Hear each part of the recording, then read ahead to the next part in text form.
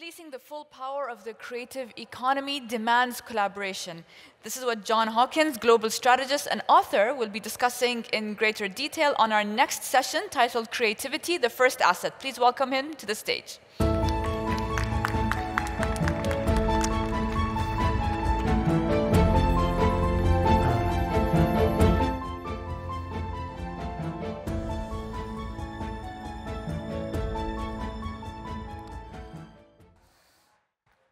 Thank you, and I want to thank the organizers for inviting me here to this amazing event.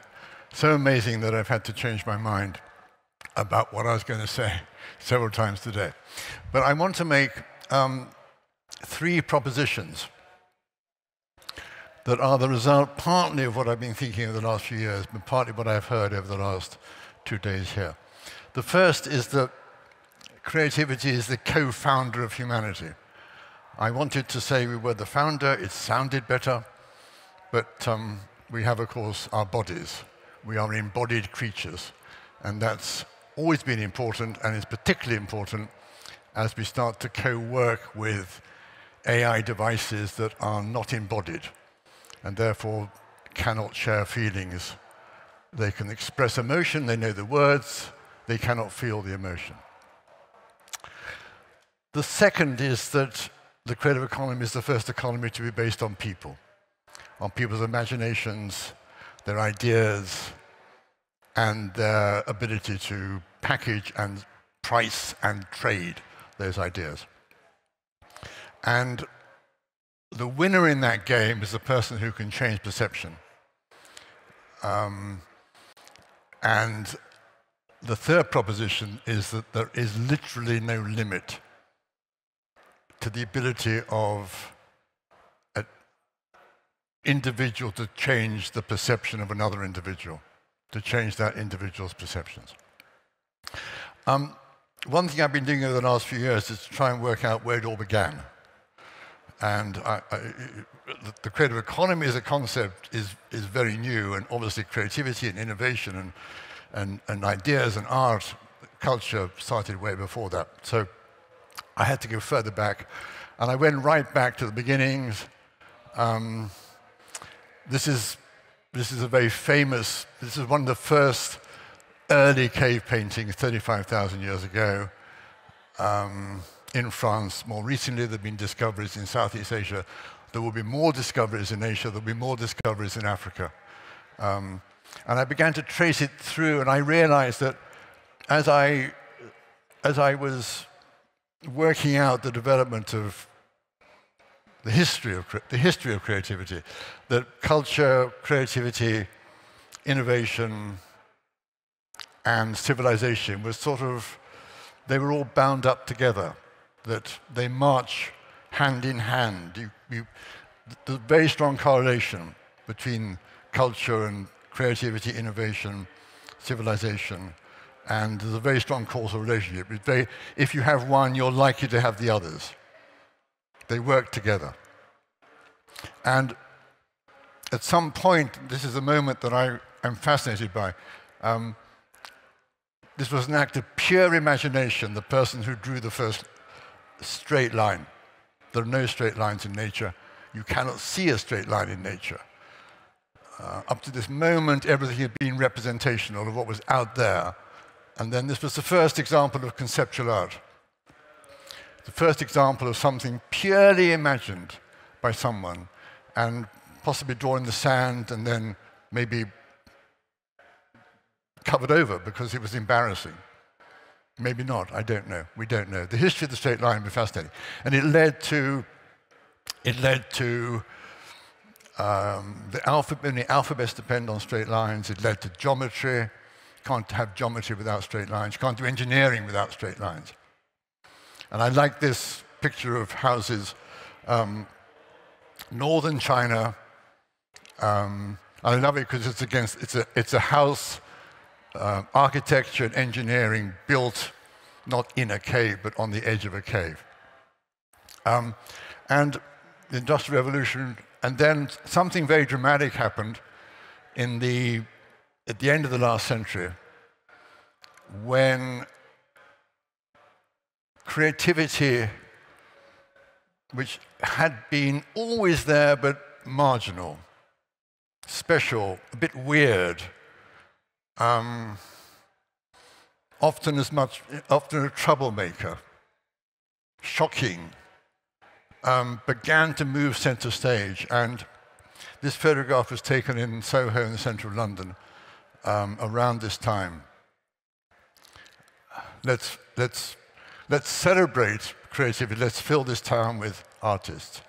An idea that would have been ho horrific to the ancient Greeks. Plato, Aristotle thought that artists were, well, he knew they were troublemakers.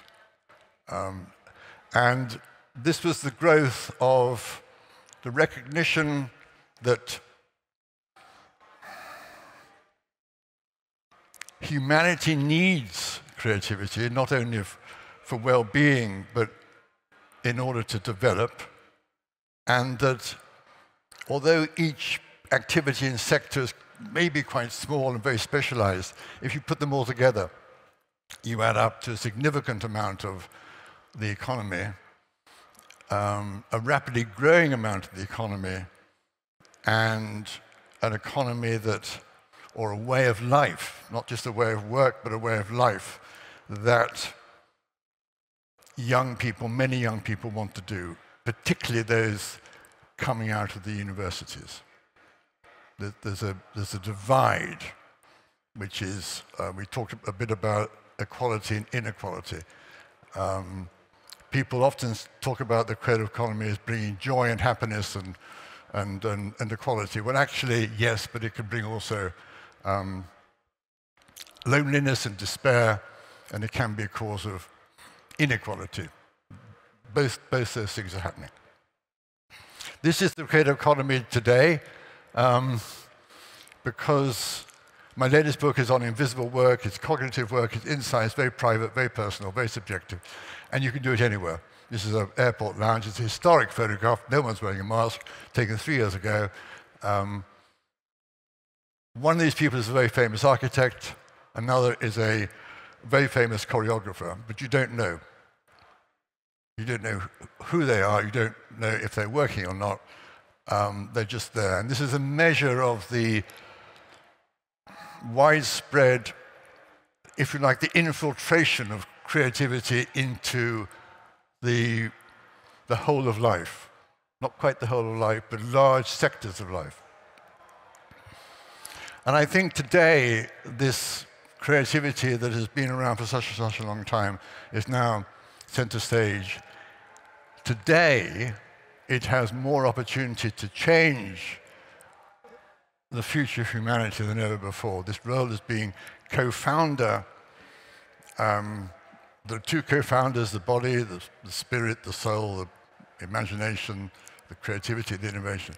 And the body was dominant, now the brain is dominant, the imagination is dominant, and it has more opportunity to change our future our, our co-founder has more opportunity to change our future than ever before. The second proposition I want to make is that the, the creative economy is the first economy based on people. Um, and John Newbigin and others call it the first human economy, which I think is absolutely correct. Um, when I went to university and studied economics, um, the economics profession was from, from, from Mill to Marx to um, Alfred Marshall, who was the, the, the, inventor of the sort of classical consensus about 100 years ago, which we still studied at university. Um, John Maynard Keynes, um, up to today's central bankers. It's all about land and labor and capital. Um, and they're wrong. It's, they, we need those occasionally. We could not have this physical event without land. But it's not, the value of the land is not what makes this a success. So we need a bit of land, a bit of labor, a bit of capital, but it's not the prime asset. The prime asset is the, is the imagination.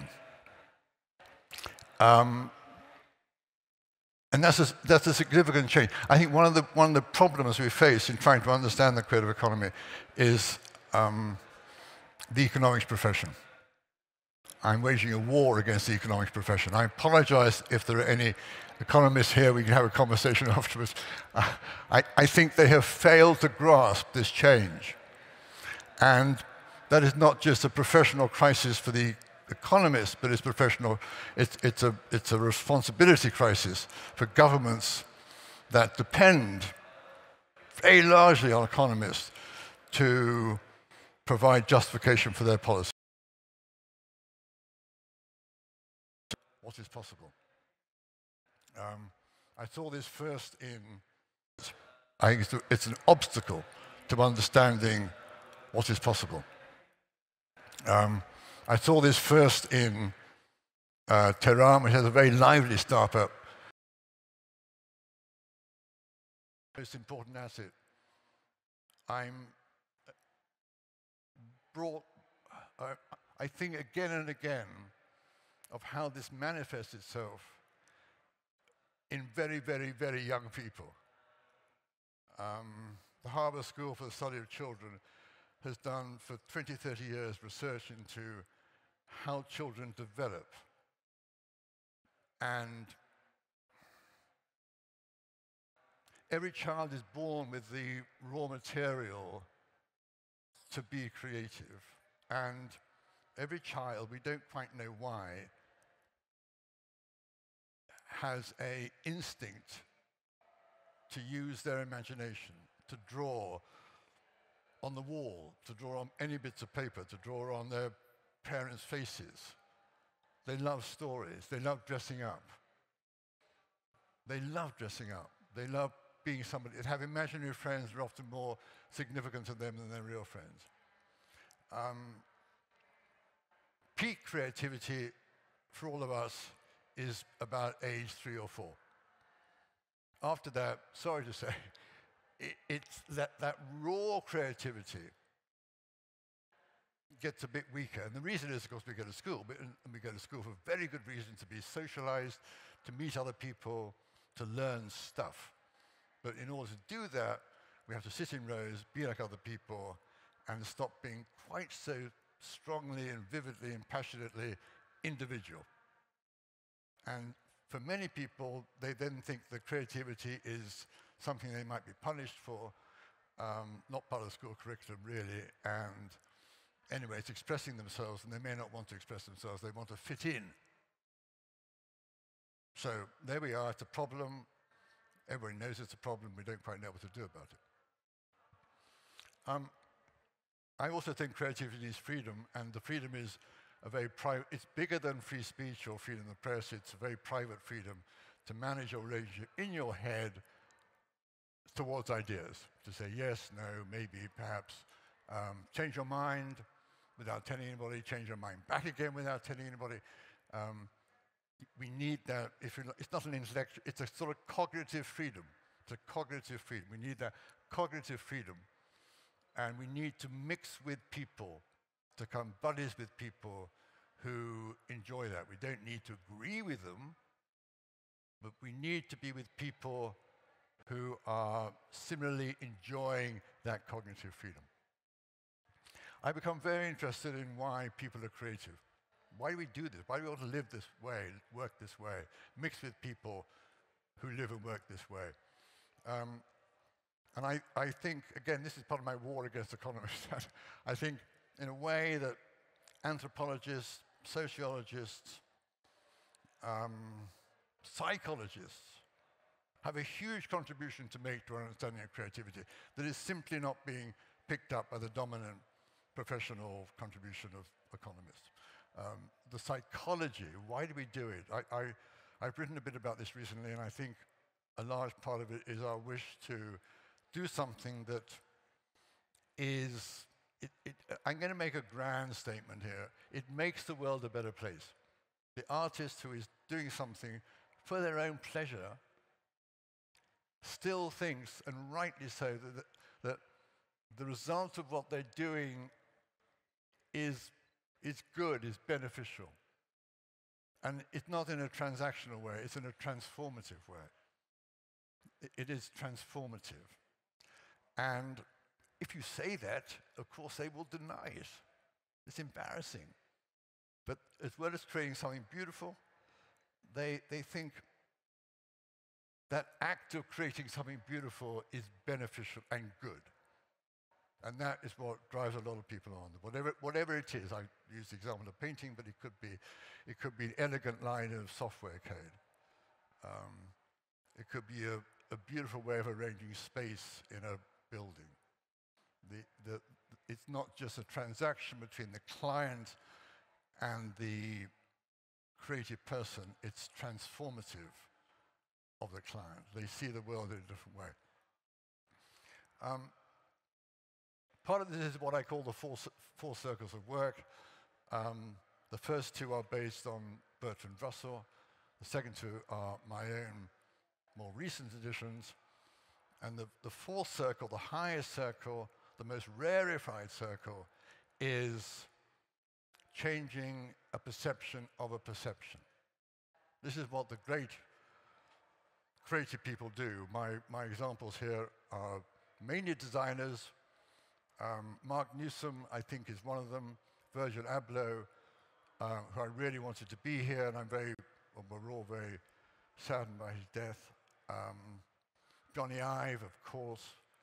Um, these people have the ability to move sector by sector and in each sector to